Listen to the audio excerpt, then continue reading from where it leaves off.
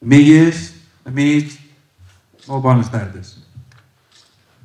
Avui començam aquest cicle de conferències referides al 125 aniversari de la Volta a Mallorca i recollida en el diari de l'expedició santanyinera al voltant de Mallorca 1899.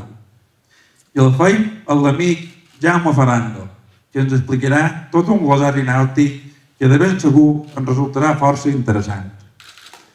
Capità de la Marina Mercant i llicenciat en dret, estudiós de la història marítima i del patrimoni marítim en d'altres aspectes. Començà la seva carrera professional nedallant per a diferents navieres, funcionari de l'Institut Social de la Marina. També impartí classes a l'Escola Nàutica. Ha exercit d'advocat, principalment a l'especialitat marítima i portuari. Ha estat secretari general de l'Autoritat Portuari de Palès. Ha publicat articles de gaire històric, marítim o jurídic a diverses revistes. Va llegir el pregó de la festa de Sant Jaume de Santanyí l'any 2003, on, entre altres aspectes, fa un resum de la història marítima santanyinera. Aficionat a la investigació marítima, a la poesia, a la narrativa, ha publicat alguns poemes i relats, també el de Belles Arts. Va publicar el 80è aniversari de la Coral de Sant Andreu. Entre altres, és membre de l'Associació Internacional de Dret Portuari i de l'Associació d'Amics del Museu Marítim de Mallorca i col·laborador del Museu Marítim de Mallorca. Ha estat molt implicat en la publicació del, del llibre Diari de l'expedició santanginera al voltant de Mallorca 1899, en el que va escriure l'article Quadern de Bitàcora de l'organització i participació en la commemoració del 125 aniversari d'aquesta volta a Mallorca. Jaume, té la paraula per submergir-nos en aquest món, que segur que per molts de nosaltres ens resultarà fascinant. Moltes gràcies.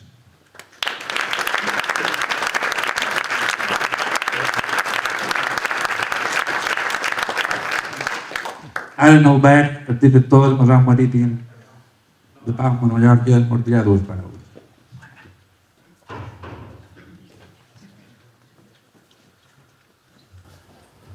impressionant, eh? Bon, bon dia, bona tarda. Uh, res, uh, moltes gràcies per ser aquí. Eh, jo del Jaume Ferrando no diré res més perquè ja s'ha dit tot, només que és un dels, eh, consideréssim, dels incondicionals que tenim al Museu Marítim de Mallorca, que és un, un, grup de persones que m'està ajudant a tirar endavant aquest projecte, que és com sempre jo quan parlo del projecte, del projecte Museu Marítim, és com un nadó que està esperant néixer durant molt de temps i que ha hagut moltes persones que han estat lluitant perquè això sigui possible i dintre d'aquestes persones en, en Jaume Ferrando. Bueno, la implicació del Museu Marítim en aquest projecte de la Volta a Mallorca de 125 anys dels nou doncs és fruit de, bueno, del contacte que tenim personal amb en Jaume Ferrando des de que vaig començar a dirigir el, el museu fa 5 anys, ara ja farà 5 anys aquest estiu, i ens van trobar, crec que el 2019, a la tardor, amb en Sebastià Drové, i vam fer un sopar, vam explicar el projecte, ja hem publicat el llibre, jo vaig venir a la presentació del llibre perquè en Jaume em va convidar, i bueno, vaig quedar també esturat perquè ens acabem fent el teatre no? i estava ple de gent i vaig dir, uau, aquí hi ha, aquí hi ha, hi ha tela, no? I, i res, llavors ens vam trobar i vam començar a parlar de, de fer una, una volta a, a Mallorca per commemorar aquesta efemèride. Llavors va venir el Covid, no? ens en recordem, ara és com que ha passat molt enrere, però només fa 4 anys, ens va aturar tot, semblava que el món s'acabaria, i la volta la vam deixar, la vam deixar perquè no la vam poder fer i vam dir, bueno, doncs quan, quan podem la tornarem a fer. I ja no tenia sentit fer-la en el 2021 perquè quedava com una mica despenjada i vam dir, doncs, quan faci 125 anys la, la refarem. I, I bé, ens hem començat a treballar ràpidament a principis d'any, o finals de l'any passat, principis d'any.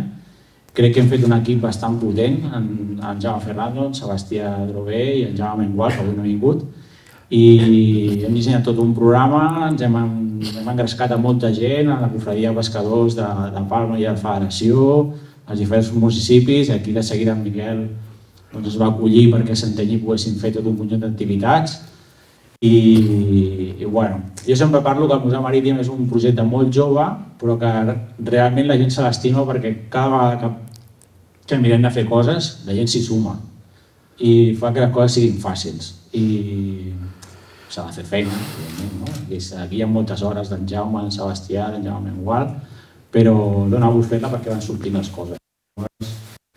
Personalment, com a, com a representant del Museu Marítim, doncs estic supercontent d'estar aquí perquè hem recuperat un projecte que són les converses amb la mar, que l'hem integrat a dins de, de la volta i que és una proposta que hem, hem fet durant aquests anys al Museu Marítim, que era el tema de converses, de fer una, una conferència per poder parlar amb, de, de diferents aspectes de, del món de la mar vinculats al patrimoni, al medi ambient, al, al medi marí, no? perquè hem d'entendre la mar com, una, com un projecte transversal i, i res, supercontent d'estar aquí, de, de l'acollida que l'altre dia en Miquel m'ha dit, està tot exaurit, bueno, comencem bé la volta, no?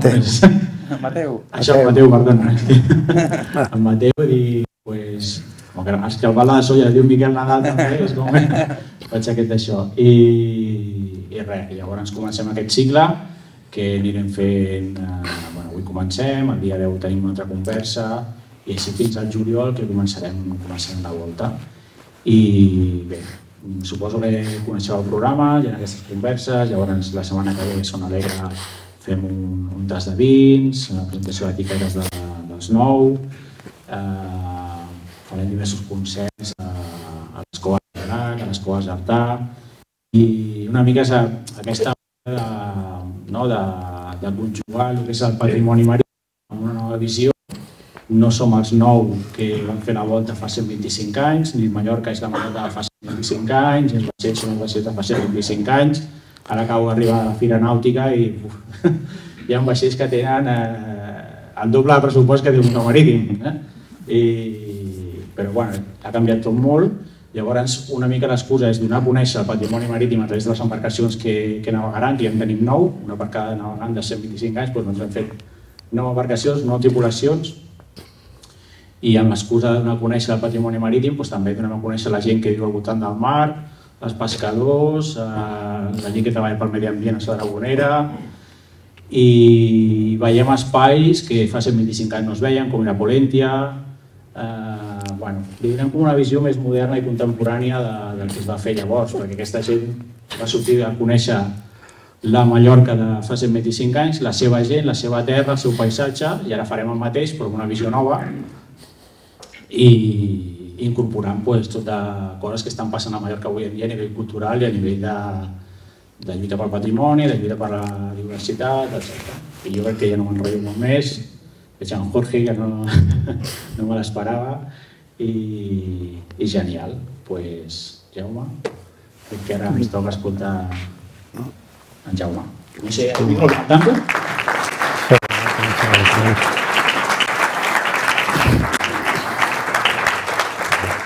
Eh, jo, eh, si me permeteu, sabré perquè serà un poc més llarg. Eh, senyor regidor de... Bé, eh, primer de tot, gràcies a Mateu i gràcies Albert eh, per la vostra generositat.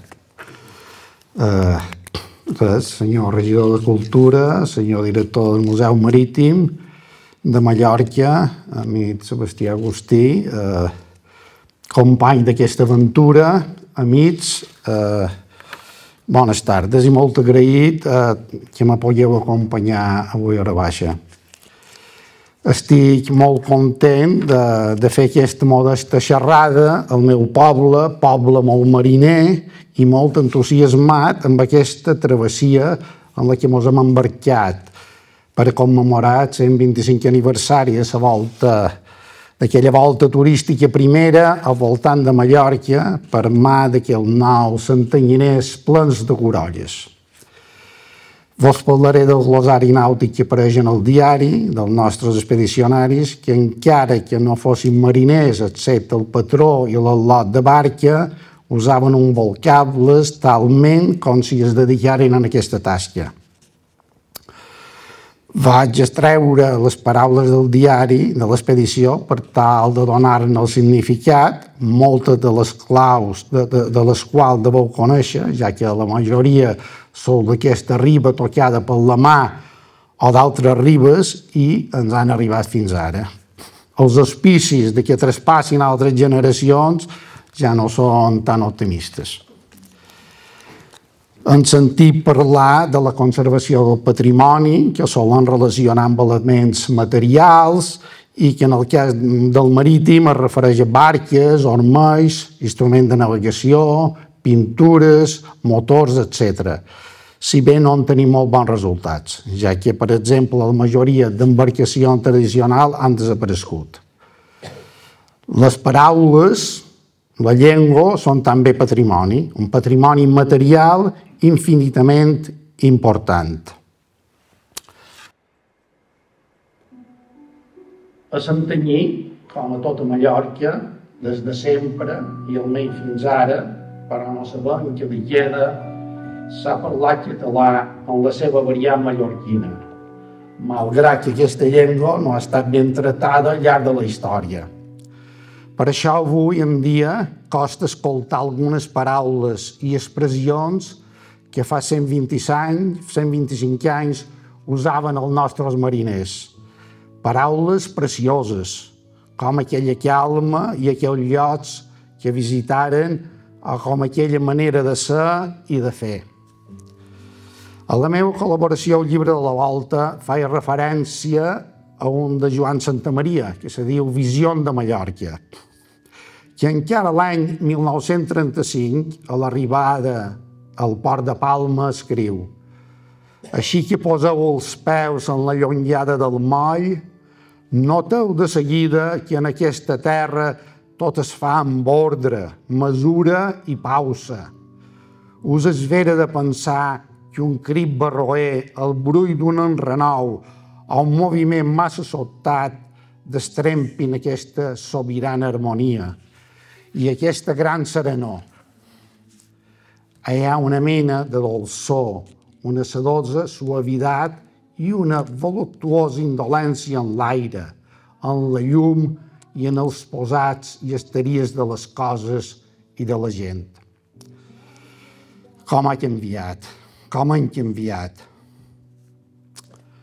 El diari conté divers vocabulari nàutic referit a la navegació, a la vela llatina, a la meteorologia, al contraband, etc. Me referiré a algunes paraules que he considerat eh, més inusuals. Per posar-me a escriure l'article que se titula Quadern de bitàcola o de bitàcora, vaig fer un salt en el temps, el que vos convido a fer ara, embarcar dins el Sant Miguel, isar la vela deixar-vos gronxar per les zones netes, passejar per una Mallorca desconeguda i escoltar aquelles paraules i expressions a la vegada que sentim el vent i fruïm de la mà i del silenci.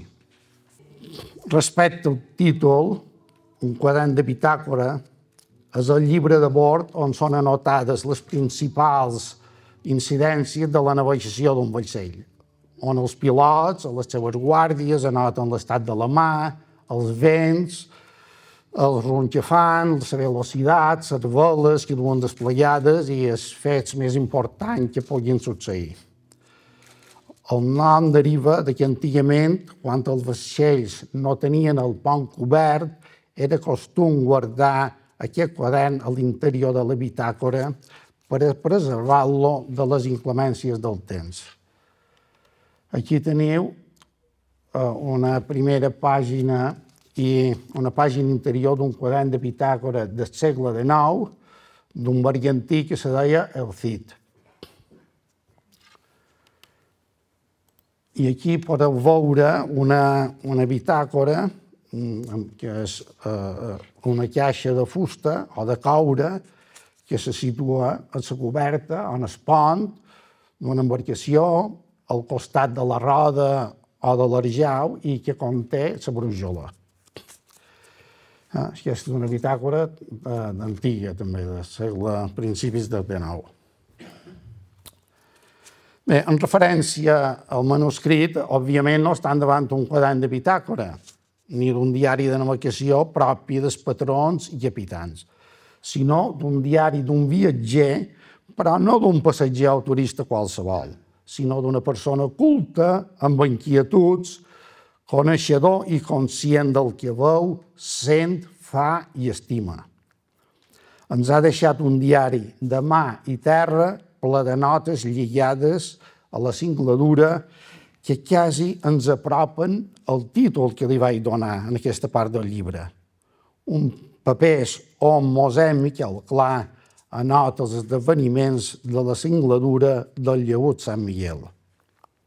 La part de terra és una crònica de mirades i visites a paradisos perduts a llocs i pobles costaners de Mallorca.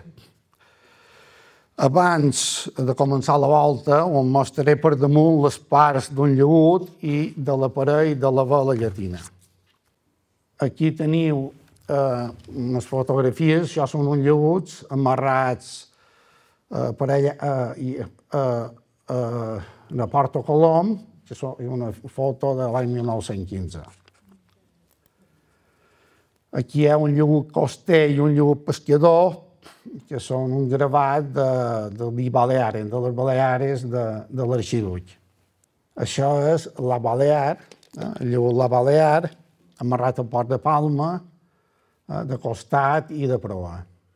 I això són unes pintures d'en Rous, un pintor, amb un lleu preciosos, l'Aurora i Nostra Senyora del Carmen. Aquí hi ha una fotografia Eh, ara morem, morem unes quantes parts del que és un lleut i el que és la llatina. Això és un, una construcció d'una embarcació de, de popa redona, perquè redona, clar, i fa molt bé la quilla, eh, la roda de davant i les costelles. Això és una, una coberta d'un lleut, el Santa Espina, un lleut que s'ha recuperat, on se veu perfectament el cortés, i la planta d'un lleut eh, obert, i on eh, també les diferents parts, sobretot se veuen els banys que també surten en el llibre. Això és la secció d'una embarcació, d'un lleut, eh, que també se veu el corter, el forro, la bancada, la coberta, l'orla i, diferent, i diferents parts. Ara veurem mm, alguns dels elements principals de lo que és eh, l'aparell de la vela llatina, com l'arbre, l'antena i la vela. Aquí teniu eh, el pal mestre, eh, una de les figures, el pal mestre, o arbre, els arbres, eh, eh, eh, un pot dur un arbre, en pot dur dos o en pot dur tres. Eh? Si en du un, el sabre mestre, o pal mestre. Si en du dos, a popa eh, se diu mitjana. I, i si en du una proa, eh, es trinquet. També du un, un, una perxa o un pal a proa que és el botaló i a popa una altra que és la bota fora o batícul, eh? que és una altra perxa que sobresurt i és per caçar, per estirar la vela mitjana. Llavors hi ha l'antena, que és una verga, una perxa que sosté la vela llatina en el pal mestre i eh, que un lleó d'aquestes característiques està formada per dues peces, eh, que estan lligades amb unes lligades molt fortes.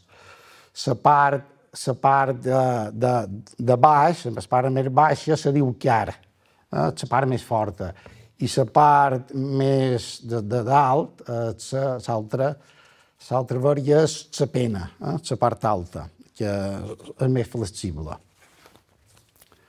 En quant a la vela, l'important són que tres punys o estrems que té. Eh? Un és escar, eh, és, és d'escar, perdó, és de la pena i és de l'escota. Els d'escar i els de la pena són els que van eh, amarrats a, a, a, a, a, en escar i la pena i l'altre, les cotes, és de, és de baix, que, eh, que és el que dona forma, a l'escota dona forma a la gola. Mm, bé, eh, després, aquí també teniu ara també les parts, eh, un lleugetjant que té la bola un plat desplegada i la bola s'entena, més, més simple i, i menys complicat.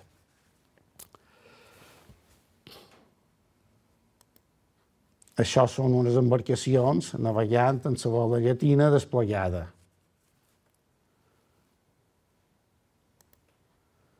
Aquesta altra, que en certa manera podria estar un poc relacionant amb nosaltres, perquè el nostre dam de Colonsolación, que és de una embarcació de, de la Catalunya Nord restaurada, de l'any, un sardinal de l'any 1913, i que també i fa nom, està a lliure, fa nom també per un santuari que se diu Nostra, Nostra Senyora de Consolació, eh, m'hauria agradat que hagués vengut ara també a fer la volta per el que representa el nom. Vull dir, que tenen allà també, coneixem el nom i molt resulta molt proper. Ostres, que la posaré en aquesta. Aquí estan boles desplegades i recullen la bola. Bé, abans d'iniciar el viatge, primer toca saltar dins el bot, eh, diu el diari, que ratllats amb el pallet per transbordar el lleut. Espellet és una, una de les eh, seccions que té aquesta paraula, és la que fa referència en el bolic on posaven un matalasset, el coixí, la flaçada, els llençols i la roba, el mariner, quan embarcava. Després em va simplificar amb el matalàs i la roba se portava dins un motxador de bolit, també, per embarcar. Com per, per, també per viatjar, no? no les maletes era excepcional. Encara a la dècada dels 60, els mariners embarcaven les barques de pesca amb el seu propi pallet i, i amb un mocador de bolic en sa roba. Això són unes lliteres, aquestes són molt noves i molt guapes, estan molt bé, també amb un pallets, eh, per posar aquí una, una figura. Bé, una vegada tots a bordo, amb els pallets i amb el bolic, i després barbarenat ens feim a la vela. Partim per navegar la vela impulsats pel vent, per tant, i comença a despertar-se l'embat de terra, diu el diari. Si bé després els nostres viatgers comencen que el més convenient és esperar l'embat de gran dia. Coneixem que l'embat, el vent que bufa de mà a terra, durant les hores de màxima insolació, a conseqüència de la variació de la temperatura. L'embat de terra, per tant, és una expressió tècnicament inadequada, ja que el vent, un vent semblant de característiques, però que ve de terra es diu terral o també oratges de terra. De fet, l'embat comença a bufar quan ho deixa de fer esterral. Eh? Seguint navegant fins que per popa en surt un bot d'espions que volien que aturaven la marxa i fer un reconeixement. Bé, ja estem en un terme del món del contraband. Això que coneixem bé per aquí. El contraband és pràcticament innat en Santanyí.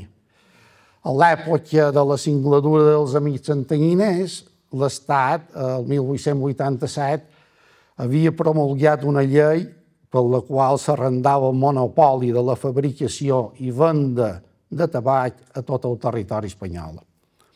La gestió va anar a càrrec de la companyia arrendatària de tabacos, de, de la qual els principals accionistes eren el Banc d'Espanya i el Banc d'Urquijo l'any 1945 es va convertir en tabacalera.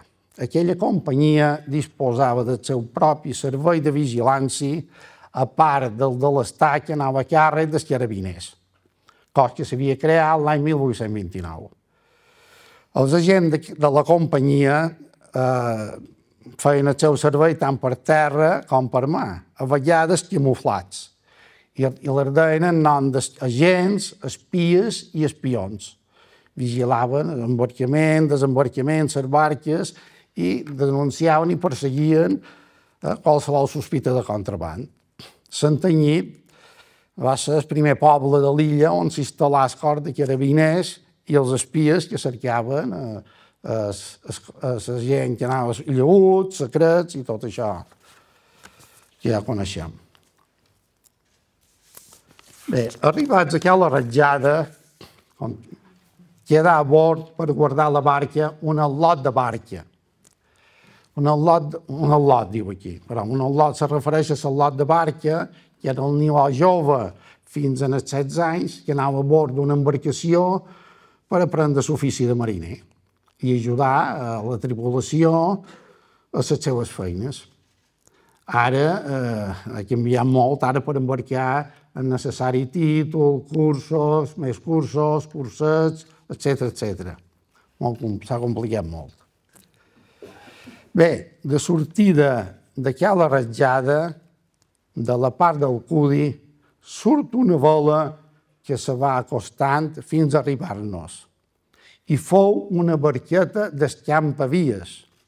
Passam de vora un penyalot quasi redó anomenat Armatsoc, un illot on el pare d'en Jaume esgobà una barqueta d'escampavies una vegada ja fa molt d'anys en què venia amb una lleutada de tabac. Matzoc eh, se pot referir bé eh, en el morro del barca o, o del Matsoc, o, o bé un farelló que també se diu el mateix, mateix nom, que està per hertar. També ha la cala Matzoc, una cala. Aquí xerra d'un illot i xerra també d'un penyalot. Bé, aquí hi ha una paraula que m'he referit, que, dir, que va dir esgobar una barqueta d'escampavies. En Jaume era l'amo de la barca, en Jaume Cavallot, eh? Que era el que va posar el lleut. Aquesta paraula se diu esgobar. Aquest, bé, la paraula és un verb que, que ara crec que jo no, no el sé, no, he, no el sé massa. Qualcú m'ha dit que sí, que encara, però bé, no, és una que se deu s'està perdent. Eh, segons el diccionari el Cove Moll, fent referència al seu ús a Santanyí, vol dir evitar un obstacle, salvar-se'n, de fugir un reclau, una pedra del camí, en aquest cas vendria a esquivar les campavies. Eh? Campavies ara en veurem eh, el que són. Però aquesta paraula dic, me va, sí, me va xocar. Això són uns antics campavies. Això eren unes embarcacions de vola lleugera per, que eren per, per vigilar les costes entre altres coses, eh, perseguir el contraband, també. Una, era una petita embarcació de vola lleugera, aquí n'hi ha una que és més lleugera que l'altra, i ràpides i que eren auxiliars dels, dels guardacostes, eh? dels guardacostes més grans, perquè aquestes se podien ficar per dins les cales i per allò que hi havia poc, poca profunditat i més estrets i tal i reconeixien les barques de posta, eh, fan referència a que en aquest cas que s'havia trobat son pare d'en Jaume una vegada i el va esquivar, el va esgobar. Els seus tripulants anaven armats amb fusells. Això és, és un, són dos, dues fotografies que vaig trobar d'escampavies. Bé, seguint navegant i van navegar durant un temps amb vent de popa. Però en lloc d'aguantar, el vent se va morir. Eh? Morir-se el vent és calmar-se totalment. Apenes fondejat de seguida es presentava un carabiner a demanar informes. L'ajudant de Marina ens aprengué la puntuació del lleut, papers, eh? i del patró, eh? Que el paper és necessari, que aquella gent entén i nosaltres no, comptaven. Tornen aquí a sortir la paraula carabiner, eh? que és guàrdia, guàrdies destinats a la repressió del contraband i la vigilància de costes, fronteres, aduanes. Cos de carabiners i de costes, que és el cos de carabiners de costes i fronteres, havia comentat que s'havia creat l'any 1829. I hi havia eh, un resguard interior de terrestre i un resguard marítim. Per la seva duplicitat de funcions en la Guàrdia Civil i per la seva actuació durant la Guerra Civil, eh, van, van suprimir, eh, com a cosa l'any 1940, i passar a constituir una secció de la vigilància fiscal de, de la Guàrdia Civil. Això són unes fotografies d'un carabiner vigilant la platja i uns altres, aquestes a Irún, allà també hi havia, ho feien bé. Demà a Irún, que anaven amb les seves barquetes. Bé, i de, quan ja havíem arribat al Cudi, sortint del Cudi, i com que el vent que tenim és gregal, hi ha hagut necessitat de fer un bordo Diuen que només en va caldre un per poder remuntar el cap. Fer un bordo, donar un bordo a vela, donar bordos, és eh, virar, canviar de rumb. Eh? Pot ser llarg o gran o pot ser curt. De vegades, en vez de fer un de llarg, se'n van fent eh, de curs. Continuant navegant. Passar Formentor fins a la Dragonera es compten 18 llegos. I fins al port de Solla, nou. La llego marina o moderna, que se diu, és una mesura de longitud que s'emprava eh, per navegar marina, que equival a una vintena part de, de grau meridià, o sigui, 5.555,55 metres que és el mateix que tres milles marines. Eh? Una milla marina són 1.852 metres. Si ho multipliquem per 3, surt, surten eh, 700. 5.555,55.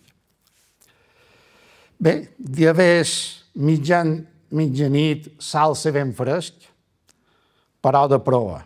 I varen mudar la vela grossa que duem amb una més petita que li diuen pitxola per anar més segurs. Aquí ven que canvien la bola grossa, la bola grossa es fan referència a la major o mestra, que la bola canvia que s'isa en el pal mestre o, o major.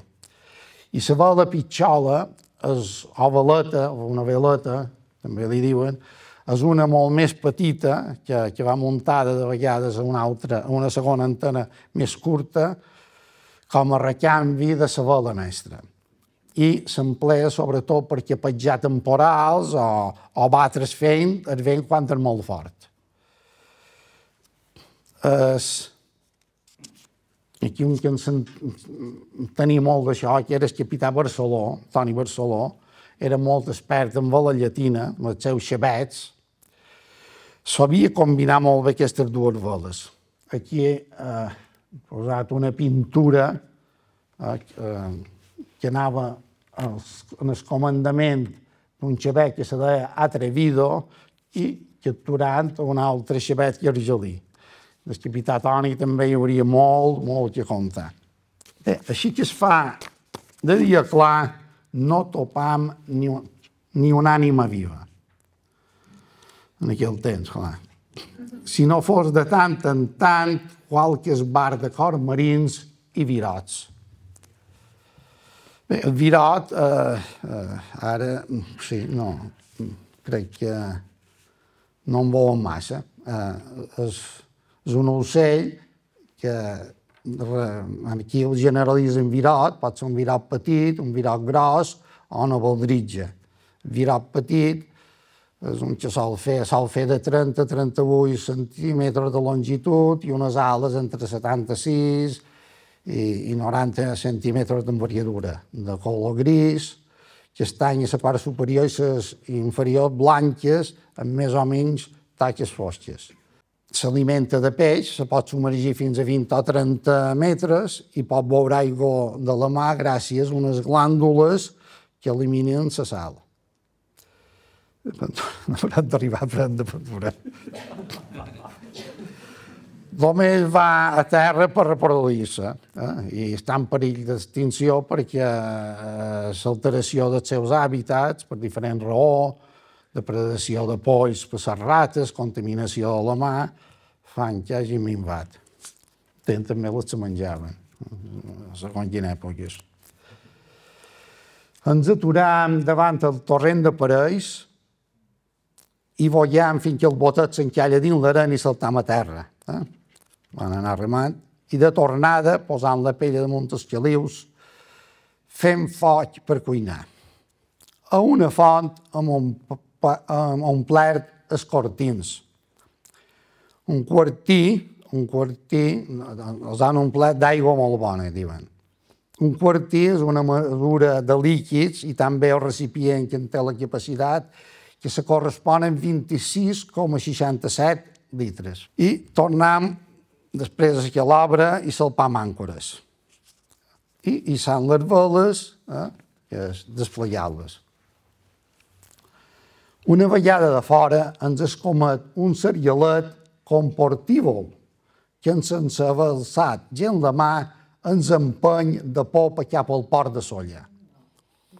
Es refereixen al vent gregal, eh? vent fresquet del nord-est, molt habitual a Balears, i a tota la Mediterrània. Eh, Gregalet seria gregal fluix.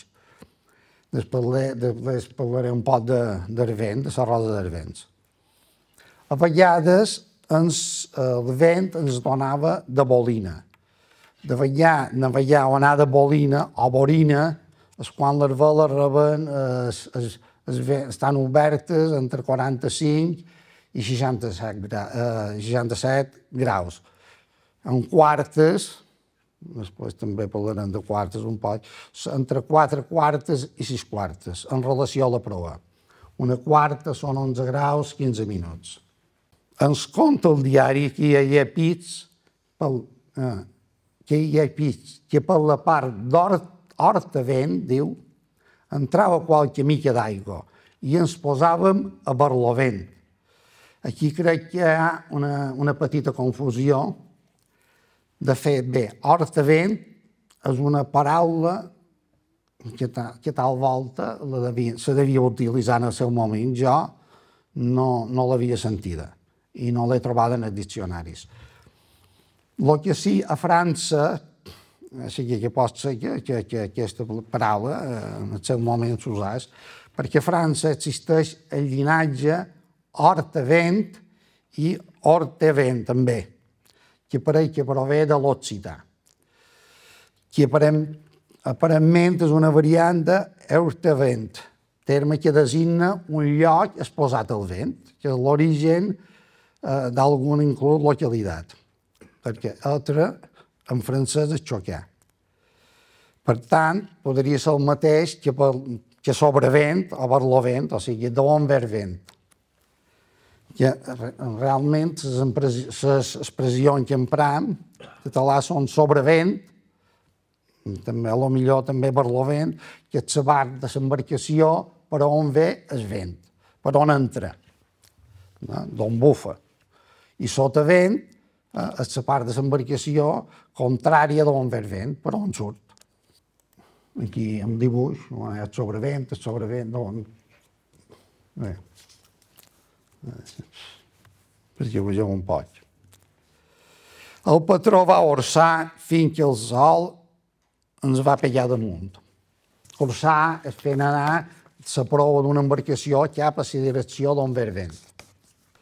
Aquí hi ha eh, els noms eh, de la manera de navegar amb vela llatina segons, segons el vent. A fil de vent, eh, que és de proa fins a, a els 45 graus a babó i estribó, de bolina o de senyida, que és fins a, a que és en el 45, eh, després, sí, entre el 45 i 67, del quartalant del 67 en el 90, que era de través a la quadra, el llarg, de mitja popa i de popa redó. I això va, eh, això, normalment van quartes de 40, de 4 quartes a 6 quartes, de 6 quartes a, a, a, a, a, a 12 quartes, etc etc. Això és una altra... Bé, eh, eh, amb la llatina navegar a la bona, es qualsevol i, cent, i, i centena eh, estan del costat de sota vent, vull dir, de on, de on no pega el vent. A la mala, es quan el vent pega eh, en el costat, en el costat on està la bola. Aquí hi ha un lleut, eh, molt conegut a Mallorca, recuperat també, en les boles desplegades, de costat i navegant de popa redó. Que tu la bola ja ben desplegada, a la mala, perquè el vent, el vent li ve de popa i li fa anar, de vegades pot ser, si fa molt de vent, no convé anar a la mala. I seguint navegant, quan jut per damunt el peu de roda, veiem en forat les puntes del sospirat port de Solla. Bé, la roda en una embarcació és la peça que arranca de la punta de la quilla eh, de la qual es, se prolonga i forma la prova. A vegades també en du a popa. Damunt du el que se diu escapiró o escat de mort. Aquí hi ha també un llut en aquestes parts com que faré, serren del peu de roda, dic que ara posarem el dibuix, on hi ha la roda, la quilla, el i el peu de roda. La quilla és la part inferior que va de prou a popa i sobre la que se munten les costelles. I el peu de roda és on s'uneix la quilla en la roda. Bé, just en aquest moment el mariner es gira de vers el bot que venia de remolc i exclama ara he vist un peix molà que deu tenir més de 20 passes de llarg. Peix molà. Peix molà eh, antigament s'aplicava eh, a una espècie d'animal legendari de la mà. Actualment eh, s'aplica més bé a el que és un, delf, un delfí molà eh? que és un que d'un forat en la boca redona i un forat en escac que se diu brufador. Però antigament eh, era s'aplicava un, a un cetaci mm, que feia pintura d'uns 25 metres. En aquest cas, quan, quan ja se parla de 20 passes de llargada, que aquí valdria uns 16 metres, pues jo crec que es fa fer referència a un, un xatxalot, a una ballena, això. Però, bueno, el de molà és un tema que, que legendari, que, que s'ha confot en diverses espècies. Aquí hi ha uns gravat de la pesca dels xatxalots, que podria fer referència a això, i això és de Fimolà, que el coneixem. S'ha de dir que, malgrat aquests nous excursionistes trobar-se amb mòstrues marins a confondre la part de sobrevent i la de sobrevent i de sotavent, el gregal amb el sergal, no era fruit de la malvasia. Ja que, si bé s'havien volgut aturar bany el bufar, com es relata, talment diuen, a omplir a qualque taverna una botelleta de vi blanc que, com tot sabeu, el fan del milloret que es passeja, però es varen veure obligats a desistir en ja que no van ser capaços d'afinar el pujador. I van seguir cap a Solla. Diuen que per entrar al moll del port de Solla prenim un bordo cap a Tramuntana. Van virar i amb un bordo van estar dins el port de Solla. Port de Solla, aquí he posat ja una imatge de com aquell temps era, en la tifar de, de la punta de la creu i el de la punta grossa o muleta. També hi ha un gravat del far de la punta de la creu en la creu de fusta i el bufador. I, i un temporal eh, a la punta de la creu. Hi ha tota una història sobre aquests fars i, i sobre la creu. No sé si ho publicaran en dies i coses, ho he explicat un poc, i si no ja ho explicaran qualque dia. Home, això ja ha estat més interessant xerrar de fars. Aquests viatgers se'n van per sol, estan per allà i tal. I, i diuen, bé, per nostra la part, però del nostre llut hi ha una embarcació que arrellada que ha de sortir cap a València, ja du les veles empanades. Eh? No són panades, no, empanades. Empanar és aplegar una vela però sense arriar-la, eh? lligant-la a lo que hem vist en escar i a la pena de sabre mestre. Aquí veiem més o manco, un, podria ser una bola agafada. I llavors l'hora d'arribar és, és més ràpid.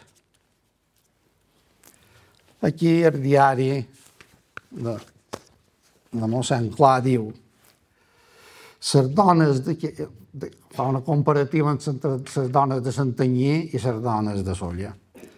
Diu, les dones d'aquest port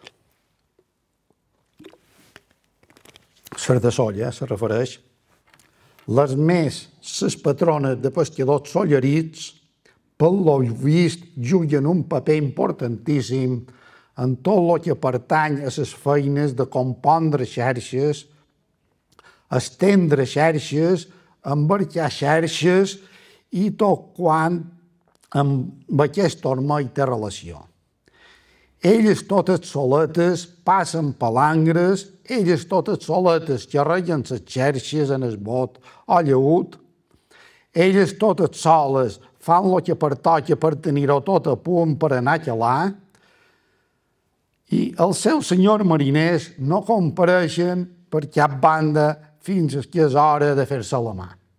I diu, a Santanyí, les patrones d'Homer van a vendre la pedra del peix fa una comparació.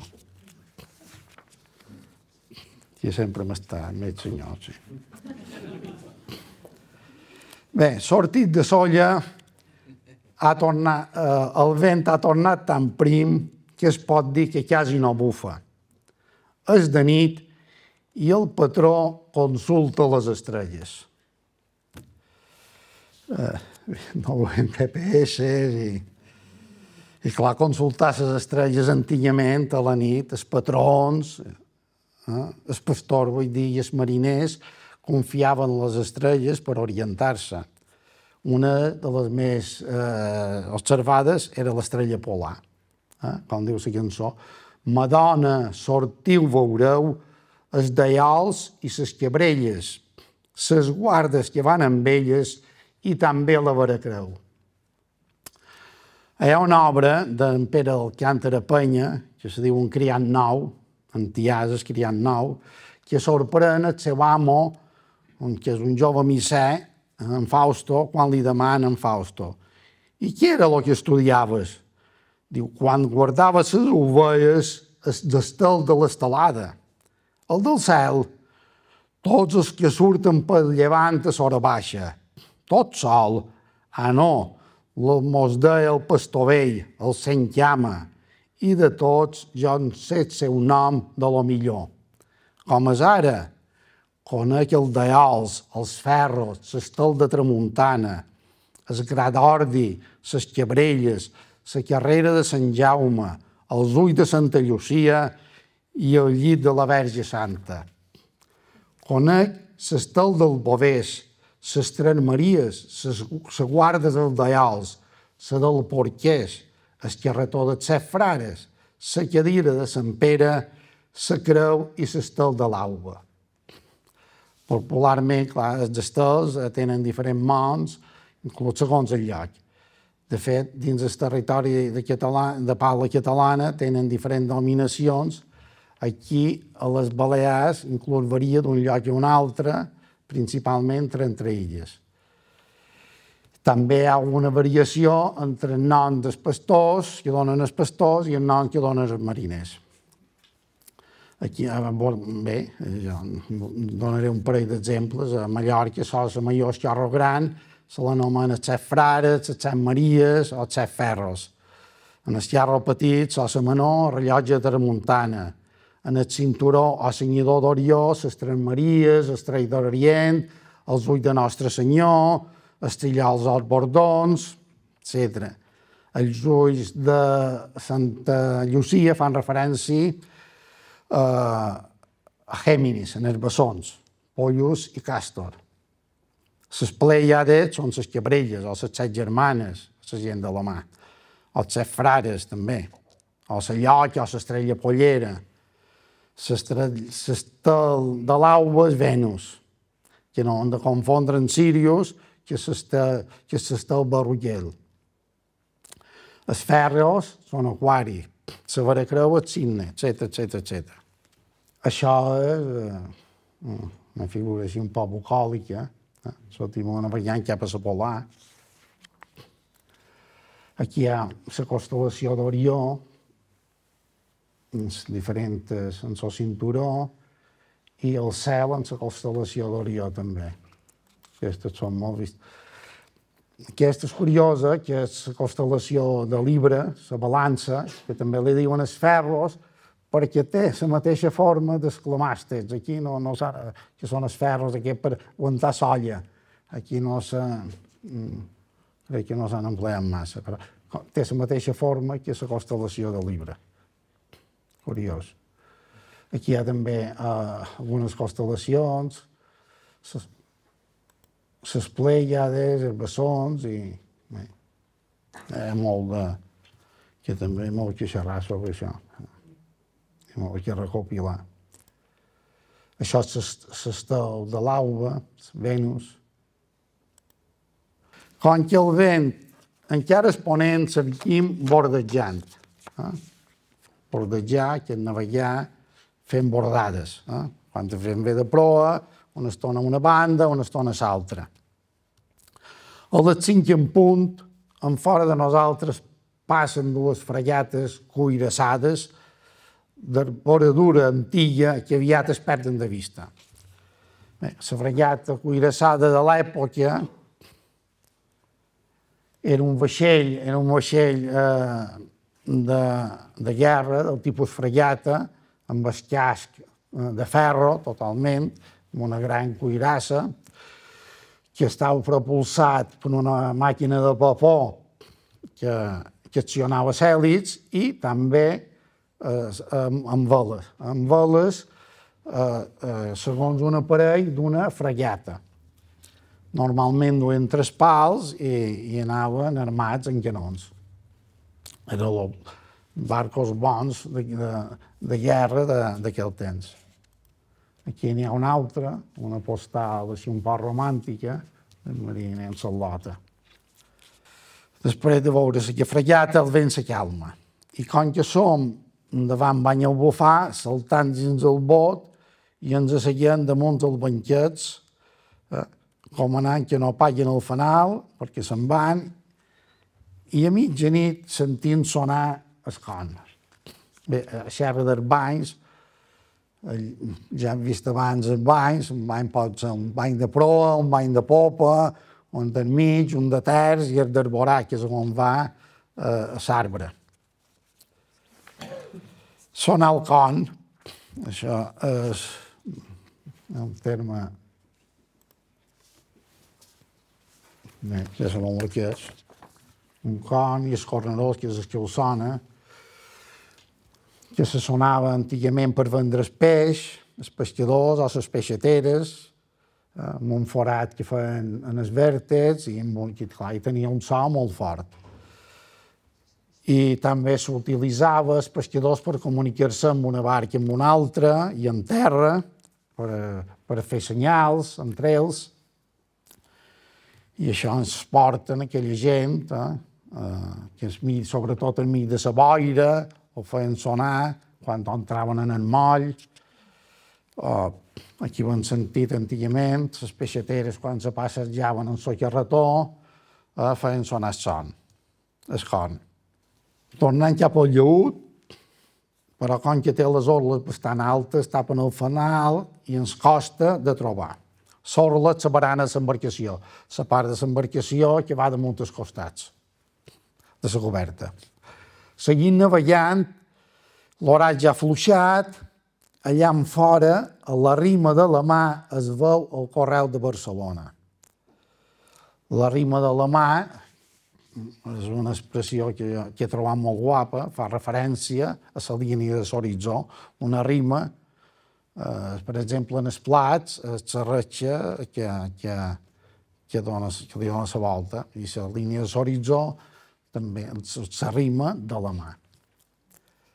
El Correu de Barcelona, xerren del Correu de Barcelona, els correus marítims eren i són vaixells autoritzats per transport de la correspondència van totes les correspondències, que no fa mal, molts anys, venia pràcticament tot, excepte aquella, que, sobres que havien de posar per, per avió i que costava més amb avió, però excepcionalment.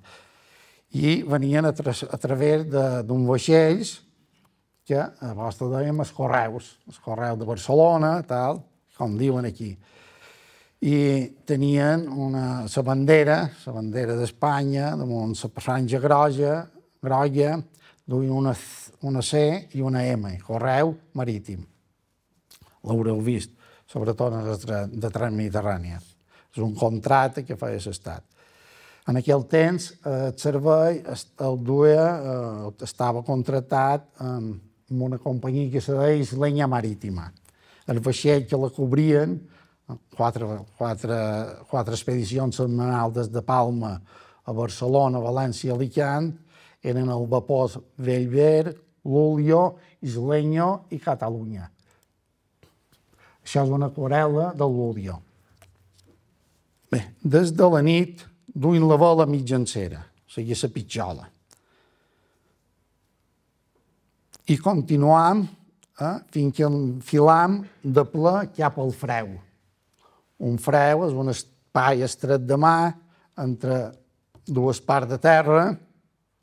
En aquest cas se fan referència a que hi ha entre l'illa de Dragonera i la costa d'Endrai, davant Sant Telm, el freu de, de Dragonera, que és entre Punta Galinda i la Galera Grossa,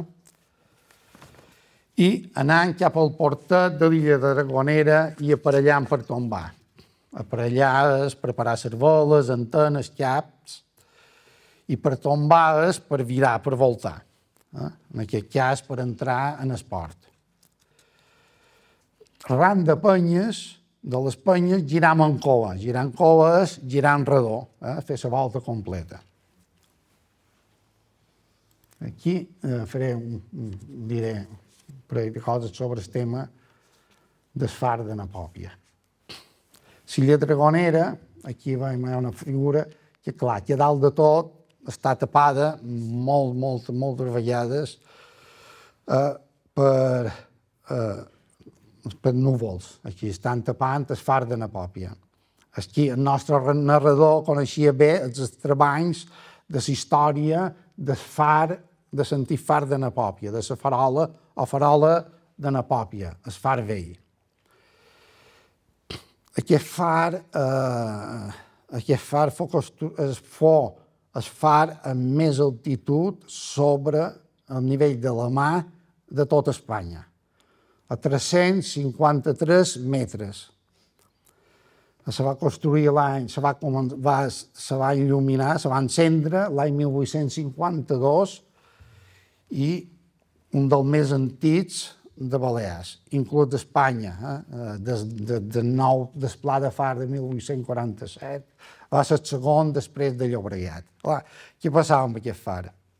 que va tenir una existència curta perquè no servia. El seu llum, totes les boires, molt de dies, estava tapat i, i van dir, doncs, se va decidir construir uns altres dos fars. Una a la punta de Llebeig i l'altra en el xat de Tramuntana que van ser inaugurats l'any 1910 i van anar pagar de Napòpia. De Napòpia, que és un far molt, una construcció molt peculiar, escalonada, eh, s'hauria de restaurar. De l'estat, ara de l'estat. Eh? I en dirigim al port d'Andratx. Deixem la dragonera anem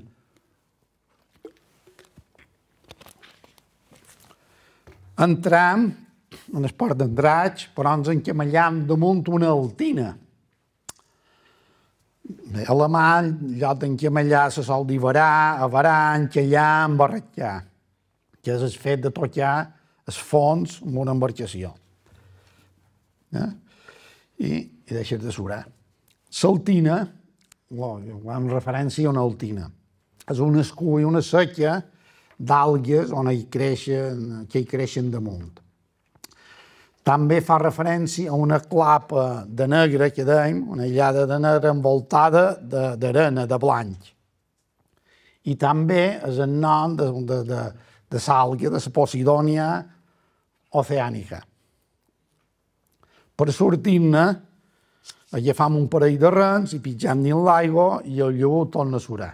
No s'havien encamallat molt veiem fondejades, quatre barques grosses, com de Vetsolla.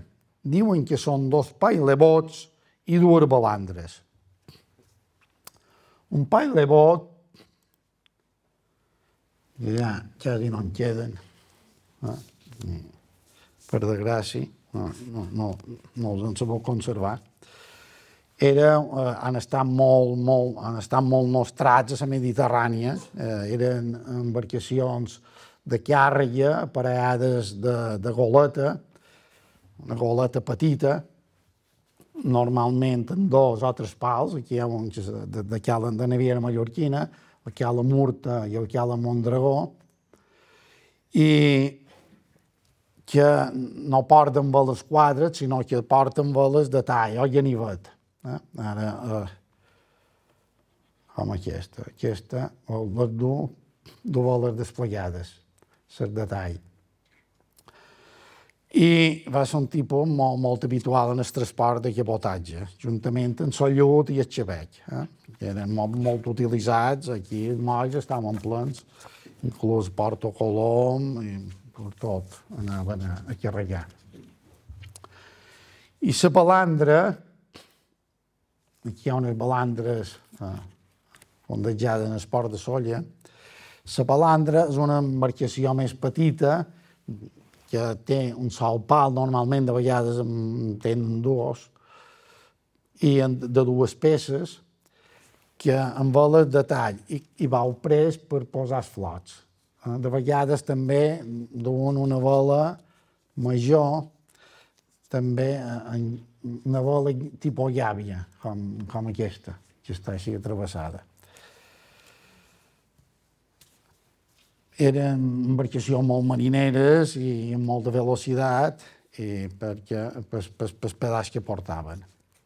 Hi havia una versió, això era la balandra, la balandra, i el balandra, eh, eh, eh, masculí, era, vendria a ser una balandra més petita, ara se les diuen que fan ratlletes.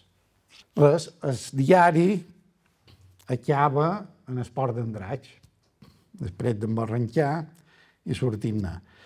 Però se suposa que van continuar, ja que, per exemple, hi ha referències a l'estat de Palma en el llibre de Caixa, que és un dels altres manuscrits. Ara vos diré quatre coses de d'Arvens i, i ja està sobre, eh, sobre, perquè en el diari apareixen diferents vents. Uh, xerrarem de un pot de la rosa dels vents, eh, que actualment té marcats 32 runs, que són rumb de procedència de vent i que és com se divideix la circunferència de, de l'horitzó. Les trobam en els primers portolans, en els primers portolans en forma d'estel, eh? en forma d'estel, i que podria ser una referència perquè va eh, a ser a l'estrella polar, perquè apunten cap a l'estrella polar, o Estela Maris o Estrella de Maria. El primer de que se té constància és de Sales Català de Nabran Cresques, eh? el nostre gran cartògraf, que a part dels punts cardinals eh, té els vents en italià, en nom italià.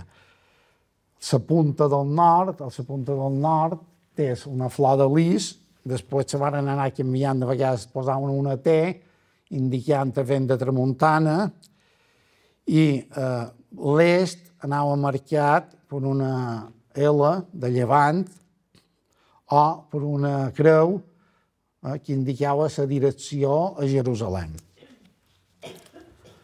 La, de la necessitat, d'aproximar molt de runs, se va dividir en quartes, entre dos quartes. Eh? La quarta, ja he mencionat abans, que són 11 graus, 15 minuts. I farien els 360 graus a les 32. Si tenim en compte, i, des, clar, i després, la rosa dels vents, els runs, se deien en quartes. Eh? Si tenim en compte el nord, és una N, el sud, una E, llevant, el eh, sud una S, es, es llevant una E i exponent és una O, tindríem, per exemple, nord una quarta al nord-est, est-nord-est, sud-est una quarta a l'est, etc. I pel que fa en els noms dels vents, com en el nom propi, s'origina a Grècia. Segons eh, la mitologia, eren divinitats. El primer que en parla, principalment, era Homer, que dona quatre punts cardinals. Boreas, que és el nord, Notos, el sud, Euros, que és l'est, i el llevant, i Sefir, oest. N'hi havia d'altres secundaris, aquests eren principals. I els noms però, populars actuals deriven de l'època romana, eh? com si situassin en una costa meridional de Sicília, on se considerava el centre del Mare Nostrum, de la Mediterrània. I allà van anar donant els noms que coneixem. Eh? Com diu la cançó, Llevant, Xaloc, Mitjom, Llevall Ponent i Mestral, Tramuntana i Gregal, fet aquí, eh? doncs el vuit del món, la jota marinera, llei, eh? Qui s'enamora no es cansa, si viu en l'opinió. Bé, això, eh, això és una, una rosa d'arvents completa en català, que jo vaig dissenyar. Sebastià Vidal m'ho va fer l'ordenador, llavors molt guapo. Amb una flor de llis a tramuntana, una creu maltesa cap a llevant, cap a Jerusalem. I hi ha tots els noms. Eh? eh? Hi ha, per exemple, combinant totes les quartes, eh, que són les 32, per exemple, tindrien tramuntana, que és el nord, tramuntant una quarta gregal, eh, que seria una, un nord, una quarta al nord-est, o un nom de vi, eh, que ens ha deixat posar en Miquel de la bodega Son Alegre, a l'etiqueta, que sortia al principi de la presentació, que és xaloc una quarta a llevant que és al sud-est una quarta a l'est, que vendria a ser el rumb 124, que és el més aproximat en el 125, que és l'aniversari de la volta del nou de Santanyí, que he començat avui a commemorar. Bé, ja fa temps que les quartes no, no, no s'utilitzen, ara se, majorment se fa eh, de forma circular, de 0 a 360 graus. Bé, i navegant eh, rumb al xaloc una quarta a Llevant, o sigui, cap en el 125 aniversari eh, hem arribat al final de la singladura pel glosari nàutic del diari. Espero que no vos hagueu marejat.